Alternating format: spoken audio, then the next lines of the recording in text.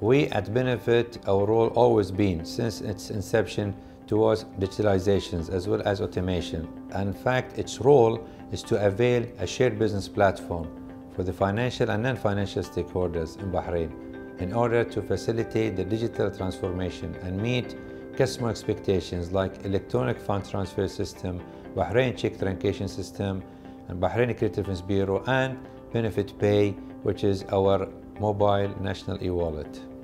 In 2018, we introduced Benefit Pay as national e-wallet, which include number of services.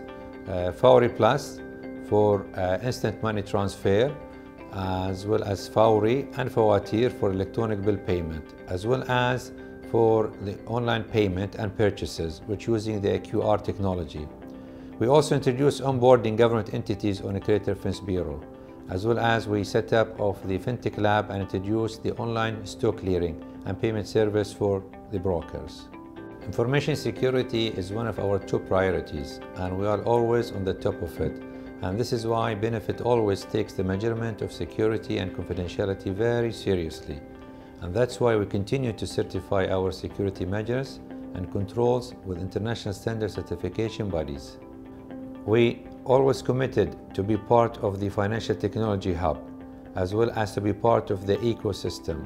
And that's why we have established the Benefit FinTech Lab, which is a partner in fulfilling the Bahrain FinTech Bay vision and to position Bahrain as a digital hub in the region.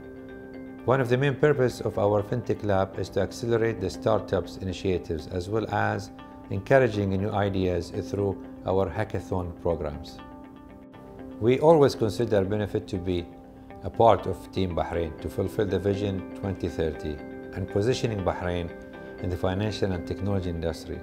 As examples, we have undertaken number of strategic initiatives such as becoming co-founder of Bahrain FinTech Bay, eKYC, electronic check, and to play a major role in enhancing the SME financing sector.